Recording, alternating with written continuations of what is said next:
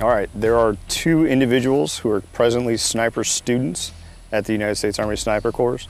They are very close to me. They are not terribly far away. They are on my side of the fence. I'm Staff Sergeant Brian Moran. I'm an instructor here at the United States Army Sniper Course. Uh, so Sniper School is a very important school, not just to us, but also to the entire military as a whole. Uh, it fills a very important role that allows units to expand their reach well beyond the front lines.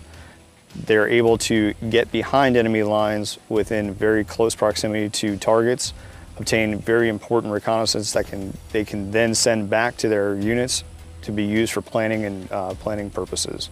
All right, first man, go ahead and come up.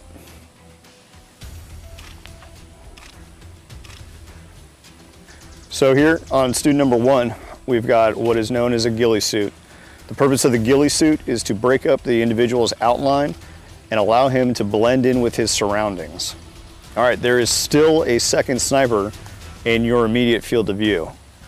The reason that we have to uh, remain so unseen at all times is obviously because we're trying to detect the enemy while remaining undetected ourselves.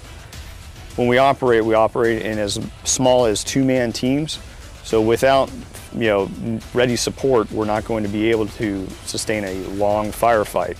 We need to be able to be unseen by the enemy, obtain the intelligence needed, and then be able to move out or take a shot if needed. Second man, go ahead and come forward.